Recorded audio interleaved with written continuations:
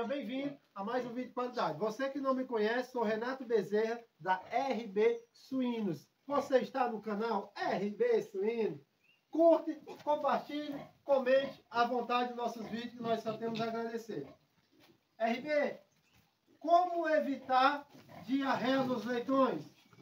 Como fazer o tratamento da diarreia nos leitões? Pergunta muito interessante, mas muito interessante mesmo. Desculpa aí, a garganta hoje não está 100%, mas estamos tentando dar o de melhor aqui para vocês. Zelotrio 10%. RD, para que serve o Zelotrio 10%? Para que, que você usa na sua criação de suínos? Uso de duas formas. Uso para evitar a diarreia nos leitões e uso para fazer o tratamento.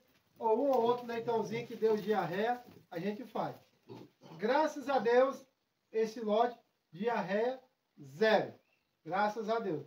Mas se você está com lote de leitões com diarreia, como inclusive ontem, um seguidor da RBC RB, eu estou com três porcas paridas já morreram 10 leitões. Três de uma, três de outra, quatro de outra. E eu não sei mais o que fazer. Os leitões se vazando com diarreia. Eu sugeriria ele consultar o médico veterinário, né? Porque é mais aconselhável. Mas falei para ele o que nós usamos aqui. Graças a Deus nós não temos problema. Zelotril. Se já está com essa diarreia que ele falou, Aí ele vai ter que fazer um tratamento. De que forma? Três dias seguidos. Qual a quantidade?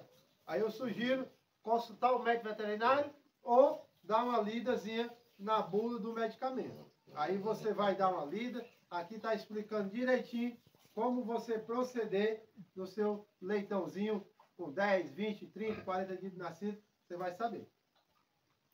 Aqui eu não posso está prescrevendo medicamento. Quem prescreve medicamento é o médico veterinário. Aqui nós estamos falando a dica de manejo que a gente tem feito aqui, tem dado certo com a orientação do médico veterinário, doutor Aloysio. Aproveito para agradecer a parceria da empresa Rebanho com a RB Suíno, grande médico veterinário da Rebanho. Um abraço, doutor Aloysio.